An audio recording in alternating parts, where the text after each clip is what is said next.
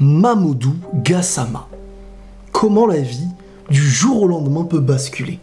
Comment d'un moment peut-être où tu es en désespoir, tu te dis que la vie est dure, tu te dis que mes projets n'arriveront peut-être pas à leur terme, je sais pas réellement vers quoi je me dirige, et ça, tout le monde peut se le dire.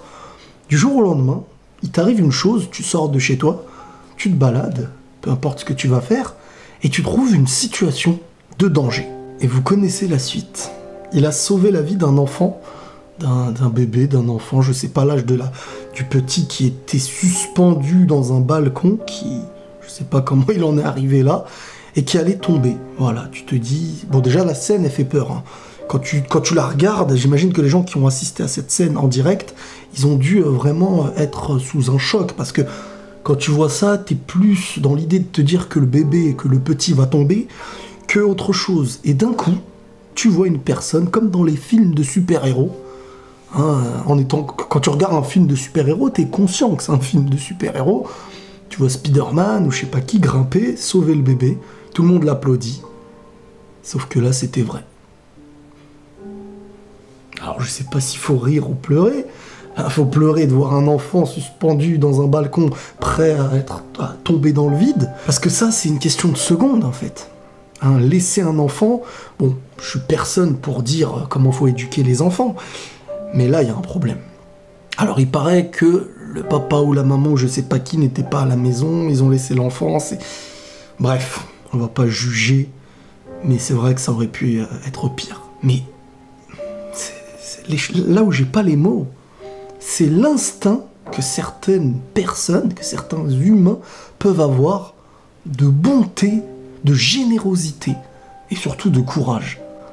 Alors, quand je vois ce qu'a fait Mamoudou Gassama, je me dis déjà qu'il est super costaud, physiquement et mentalement, qu'il s'est même pas préoccupé de sa vie, sur le coup, il s'est dit, bon, je vais y aller, et je vais sauver cet enfant. Peut-être que lui, là, comme je vous ai dit, il était dans le même état d'esprit, euh, en train de penser à son futur quelque temps avant, et d'une action qui est venue dans sa vie, il a créé quelque chose de nouveau, et la récompense va arriver.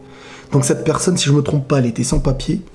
Elle va avoir un titre de séjour elle pourra être euh, naturalisée française, si je ne me trompe pas. Et aussi, normalement, il va pouvoir travailler avec les pompiers. Donc, une situation financière, une situation euh, stable et une nouvelle vie, j'ai envie de dire. Lui qui a sauvé aussi la vie de, de quelqu'un. Tout est beau, du jour au lendemain, tout est beau. Donc si le premier conseil que je peux donner aux gens, c'est ne vous bloquez pas vous-même votre vie. Même si une épreuve vous touche aujourd'hui, vous ne savez pas, du jour au lendemain, il peut se passer des choses et votre vie, elle peut être chamboulée dans le bon sens du terme en quelques minutes. Toutes les vies qu'on possède autour de nous, elles sont similaires à plusieurs personnes qui creusent pour trouver un trésor. Certains trouvent un trésor très tôt, et si toi tu t'arrêtes de creuser parce que tu vois les autres trouver leur trésor alors que le tien, tu te dis qu'il n'est pas sous la terre, tu t'arrêteras peut-être à un millimètre de ton trésor. Et ça c'est très très important, parce que quand on perd espoir, on se bloque, on se met des murs, on n'arrive plus à avancer. On est les premiers à se bloquer parce qu'on est dans l'idée qu'il ne se passera rien. Il faut avancer avec foi et se dire qu'on est dans cette possibilité d'y avoir une chose qu'on n'a pas forcément créée nous-mêmes, mais des situations qui s'ouvrent à nous peuvent venir du jour au lendemain. Vous pensez vraiment que Mamadou Gassama, il était là en train de se dire euh, c'est bon, euh, je vais être avec le président, on va me naturaliser normalement, je vais travailler, j'aurai une situation stable, euh, je serai un héros. Le mec, vous l'imaginez deux jours avant en plus, il paraît qu'il vivait dans des conditions qui n'étaient pas des plus riches. Faut pas sous-estimer la vie ni l'avenir. Peu importe la situation dans laquelle vous êtes.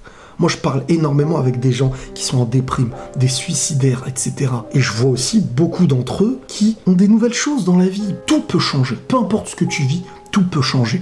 Donc, utilisons les, leçons de la vie qu'on peut voir, comme ce qui s'est passé récemment, ce qui va se passer demain, parce que chaque jour, c'est une nouvelle lumière et chacun qui creuse avec espoir ou désespoir, tant qu'il continue de creuser, trouvera son trésor. Voilà les amis, prenez tous soin de vous et la paix sur vous.